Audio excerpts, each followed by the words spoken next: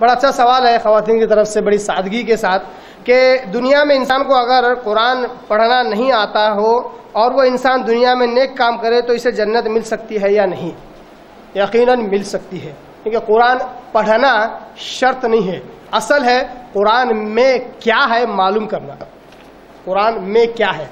तो कुरान अल्लाह की तरफ़ से जो मैसेज आया, जो खबर आई, अगर हमें पता ही नहीं कि उस खबर में है क्या आखिर तो ज़ाहिर सी बात हम कुरान पर अमल नहीं कर सकते। अगर आप कुरान पढ़ नहीं सकते, पढ़ नहीं सकती, या तो बहुत ज़्यादा उम्र होने की वजह से, या अनपढ़ होने की वजह से तो आप कुरान का तर्जुमा ऑडियो में सुनिए, आज टेक्नोलॉजी बढ़ी हुई है आज।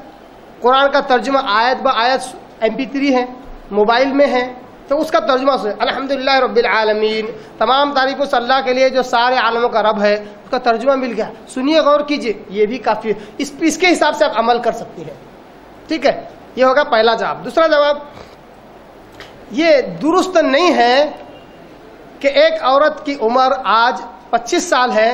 वो कह रही है कि मुझे कभी स्कूल नहीं भेजागा मैं अनपढ़ हूँ, मैं कुरान नहीं पढ़ सकती। क्या मैं नेक काम करके जन्नत में जाऊँगी? मैं कहूँगा हाँ बिल्कुल जा सकती हो। 10 साल ले लो। 10 साल तक थोड़ा थोड़ा लंगड़ते हुए कुरान पढ़ना सीख लो। 10 साल के बाद फिर कुरान समझ कर पढ़ो। खुद से पढ़ो, अरबी में पढ़ो, उर्दू में पढ़ो।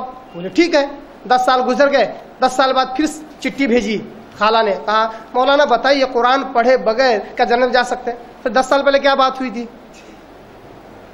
अच्छा ठीक है, चलो, बीस साल ले लो।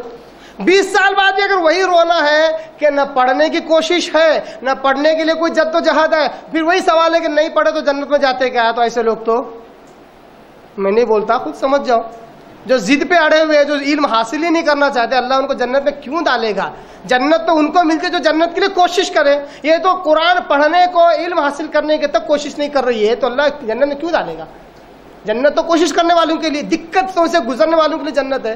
तो अलबत्त जो लोग सत्तर साल, अस्सी साल के बहुत ज़्यादा बूढ़े हो गए, अब उनको नज़र भी नहीं आ रहा है। अब वो एम थ्री वगैरह से या ऑडियो से कुछ सुनकर अगर अमल करें तो बहुत अच्छी बात। मगर जो जवान है या काफ़ी हद तक उम्र अच्छी है, पढ़ सकते हैं तो दस साल नहीं, बीस साल लगाइए। बीस साल बाद तो ज़रूर पढ़िए। बीस साल बाद ये मत कहिए कि हम अनपढ़ हैं।